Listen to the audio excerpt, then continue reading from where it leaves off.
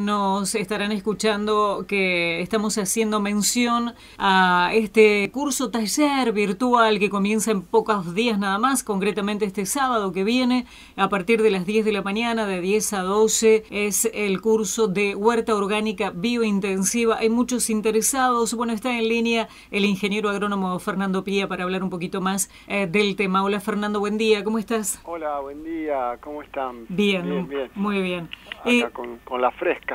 Está frío. No afloja, no afloja. No, no afloja, ¿eh? No afloja. Falta mucho todavía. Bueno, pero de todas maneras se puede comenzar a trabajar eh, justamente en la huerta. El objetivo es conocer algunos detalles de cómo iniciarnos justamente en este tipo de, cultivos. Y mm, Fernando decíamos, va a comenzar el viernes, eh, eh, este sábado, el taller. Todavía hay unos días para, anotarse.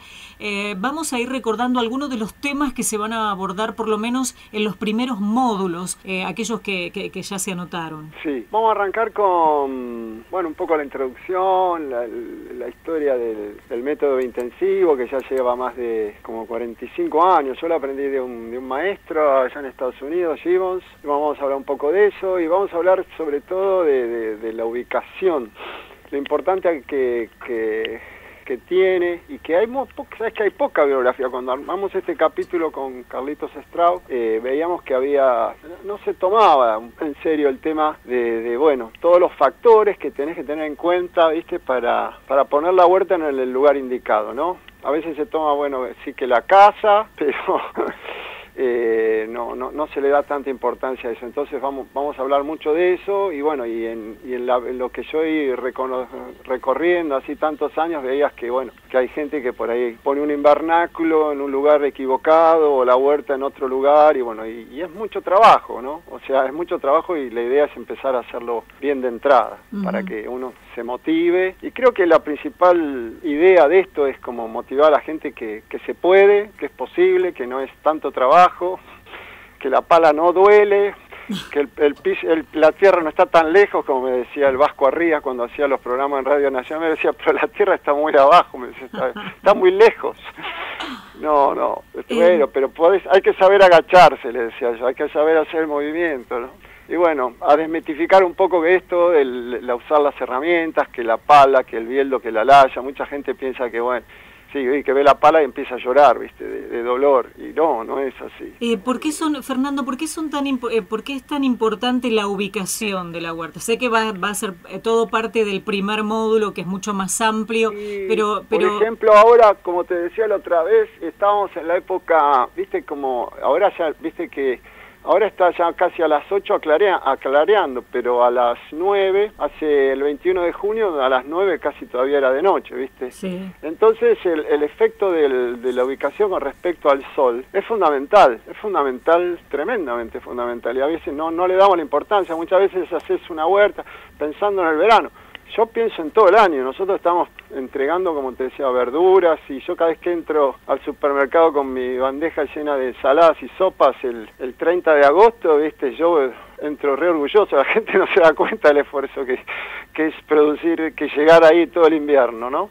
Entonces eso es muy importante de, y todos los factores que te que produzcas todo el año, y, y la ubicación, el sol, la humedad, por ejemplo, yo elegí mal un lugar ahí, eh, tengo que hacer la zanja más profunda. Una parte es como que está, tengo una parte con más humedad y otra parte con, con menos. Eh, el tema de la humedad también es muy importante, los árboles, las cortinas, las raíces de los árboles. Eh, si estás en una ladera, si estás en un fondo de valle, las heladas. Hay, nosotros a veces con respecto a, a la parte alta de golondrinas tenemos 2-3 grados de diferencia, imagínate. Yo cuando cuando compré cuando compré a mí en la facultad no me dijeron, no, era facultad de Pampa Húmeda, ¿viste? No te decían. yo, vi, yo vi todo lisito acá abajo, dije, uy, qué lindo está, todo lisito y parejo, y era donde me juntaba todo todo el frío. Acá lo tenía Pablo Adrión que se fue, lo tenía Emilio Radio que se fue, se fueron todos porque quedé yo solo acá, como loco malo, pero eh, es por también es un lugar muy helador. Bueno, entonces aprendimos un poco a, cómo evitar las heladas, eh, bueno, sin fin de cosas que por ahí no, no se toman en cuenta y la ubicación de los invernáculos, eh, con respecto, ya te digo, mucha gente lo hace de alguna forma, no, no, no, no, no se capta toda la luz que puede haber. Bueno, este invierno fue muy atípico, ¿no? En cuanto a la cantidad de lluvia, pero en otros inviernos tenemos más sol, no tenemos tantos días de lluvia. Entonces, aún así nosotros tenemos los invernáculos con, con producción y estamos, estamos, estamos cosechando. Em, Fernando, y, el diseño de lo que va dentro del invernáculo, digamos, ¿dónde va cada semilla? Es fundamental, el diseño es otra cosa, cómo ubicar los cómo ubicar los bancales, dónde ubicas el compo, dónde ubicar los cercos vivos, el tamaño de los cercos vivos, todo eso es tremendamente importancia y es en el éxito, ¿viste? Por eso digo, un arquitecto tiene en cuenta, ¿viste? Que cuando abra la puerta no choque contra el, no sé, contra el inodoro, bueno, y va, a tener mil aspectos en cuenta en el, en el diseño de esa casa, que sea funcional, que sea práctica, bueno, esto es todo lo mismo, esto es todo lo mismo.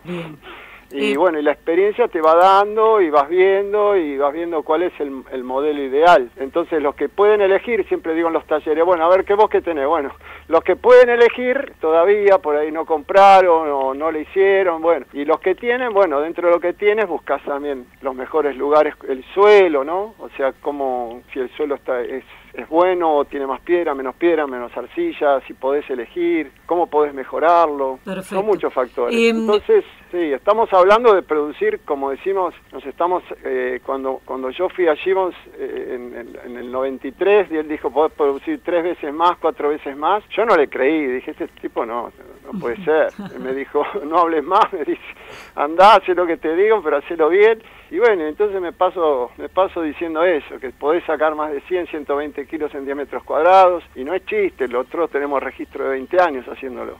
Entonces eh, lo decimos con, con, conocimiento y motivar a la gente que, que, se puede. En base a la experiencia. Em, eh, Fernando, recordémosle a los participantes del taller cómo se va a trabajar, porque esto es importante. Primero se da el material para que uno lo pueda ir leyendo. Y ahí estamos ahora con con muchas horas de computadora, trabajando con, con un aprendiz que tengo acá de Colombia, Juan, que me está ayudando un montón a manejar todo esto. Primero vamos a entregar un, material, un PDF, el libro mío va en PDF, y después hay una serie de videos, y después hay otro material, y la idea es esa, que ya, por ejemplo, ahora eh, ya le estamos mandando el material para que cuando lleguen a la clase, que también está, esto es algo que me está motivando de, este sistema, ¿no? Que, que, vas a llegar a una clase con un material, ya, ya habrás leído, ya eh, por ahí viste el video, entonces ya llegás con mucho más conocimiento y, en realidad, porque viste, lo que uno dice normalmente eh, no queda, ¿no? Pero si vos lo ves y lo estudiaste, bueno, ya lo vas a lo vas a firmar más. Y después vas a hacer la práctica, que estamos pensando también, ¿viste? para los que están acá, la moda, como vos decías, y bueno, pero si no agarrar la pala, si no, la vivencia, sí, eso fue es fundamental. Pero bueno, los que están acá en el transcurso de la primavera van a poder acercarse, ¿viste? Comprendo el protocolo, van a poder mirar lo que hicieron el taller, o vamos a hacer también jornadas prácticas, también la idea es proponerles a muchos de los que se anotaron acá por toda la zona, hacer, bueno, tal día hacemos una jornada práctica todos afuera, lo que nos permite el protocolo, que por ejemplo ahora me estaba diciendo eh, Néstor de la municipalidad que 10 personas te, te, permiten afuera. Entonces, bueno, eso sería, ah, se podría ir haciendo, complementando también la parte práctica afuera. Perfecto. Así que eso se va a poder hacer en algún en algún momentito. Sí, sí, lo vamos a hacer. Ahora, mejor que mejore el tiempo un poquito, porque ahora bajo el agua está medio complicado pero eh, es la idea. Y los que están en más lejos, bueno, aunque no sería el caso ahora por ahí los que nos están escuchando, vamos a encontrar algunas, algunas maneras por ahí de, viajar, de hacer algunas giras, esa, esa, es otra idea. Bueno, pero la ventaja de leer el material previamente es que uno llega directamente con las dudas, entonces pregunta las dudas y, y, de paso se va a abrir un grupo de Facebook también para ir volcando ahí todas las inquietudes que cada uno tenga. Sí, mira, a mí me está cambiando la cabeza después de 25 años. la tecnología. No, no, me está cambiando la cabeza dar talleres. O sea, ah. creo que no, no, después de esto no voy a ir nunca más, o sea, un taller sin, sin mandarles el material antes y que lo lean y cuando vos llegás eh, ya es otra cosa. Si no, viste, queda muy poco, porque por ahí te la pasás charlando y, viste que queda, dice que de lo que vos hablás queda, no sé, queda el 20, de lo que vos ves queda el 50 y de lo que haces queda el 80. Bueno, la, la lectura del material es obligatoria, la lectura previa es obligatoria. Sí, es obligatoria, sí, Ya estamos en la secundaria. hacer las preguntas, claro, las preguntas que se van a hacer es sobre dudas sobre el material. Tal o cual. sea, bueno, Bien. si me preguntás si la raíz es para abajo, no, te voy a decir, no, no sé. Sí. No, Sí. eso ya está escrito, Claro, digamos. claro, tal cual. No, no corresponde la pregunta. de- y darle paso a las preguntas al de otros, porque son muchos, se están anotando mucha gente, entonces tenemos que ordenar las preguntas para las que no se contestan. También es un desafío, porque, viste, bueno, a ver, el Zoom, cuántos son, y vamos a pasar a las que no se contestan en el momento, para no hacerlo tan largo, bueno, se van a dejar ahí y las vamos a subir al, al Face y se van a contestar. Las juntamos todas, las mismas preguntas, y la idea es que nadie se vaya sin una pregunta sin contestar. Y Bien. después ver por ahí algunos modelos de si pueden eh, filmar y mandar una filmación de cómo están haciendo y nosotros los podemos ir corrigiendo. Se puede ir a- avanzando. Eh, Fernando, bueno, vos has dado conferencias eh, este, en muchísimos lugares, eh, no solo aquí en la Argentina, sino en otras partes del mundo.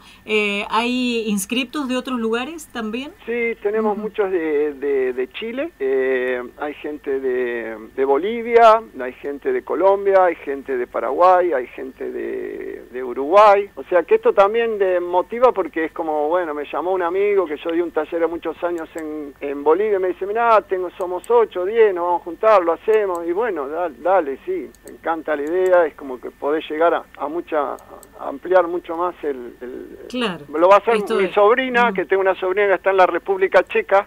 Mira vos. Me dice, tío, ¿lo puedo hacer? Me dice, eh, sí, claro. ¿Y ¿Tiene allí una pequeña huerta o Sí, tiene...? sí, Ajá. sí, ella está casada con un checo y tienen un, tienen un montón de tierra para hacerlo, así que estaba, estaba Claro. entusiasmada. Mira vos. Así Bueno, que mira, podemos llegar, se puede- lindo, sí, puede llegar a, cualquier lugar. eh, qué lindo esto de compartir experiencias, además con gente de otras partes del mundo para ver también cómo, este, Sí. bueno, cómo de se trabaja. Brasil, de Brasil tenemos un par de anotados, no sé si me van a entender o no, pero bueno. Seguramente, seguramente. Bueno, eh, Fernando, gracias por ahora, por habernos atendido. Retomamos el diálogo en cualquier momento para conocer otros detalles de los módulos que, que van a ir siguiendo. Eh, por ahora te mandamos un abrazo y recordar que se puede hacer la inscripción a través justamente del mail, eh, se puede hacer a través de un teléfono que nosotros estamos repitiendo. El mail es proyecto eh, ciesacursos arroba gmail.com. Eh, este, este proyecto que la idea fundamental es re- recaudar eh, algo de dinero para reinvertir justamente en la en el mantenimiento de Ciesa. E- ese es el objetivo Sí, sí, fundamental. sí, tenemos que mejorar parte de la estructura, así que bueno, ahí, ahí, ahí vamos. Bien. Gracias Fernando por habernos No, atendido. Un eh, abrazo. gracias a vos, te mando un abrazo grande. Bueno, hasta, luego. Hasta el viernes hay tiempo para anotarse en el taller, eh, curso virtual de huerta orgánica biosustentable que está a cargo, va a estar a cargo durante los días sábados, termina el Seis 15 de, de septiembre y comienza el próximo Sábado. sábado.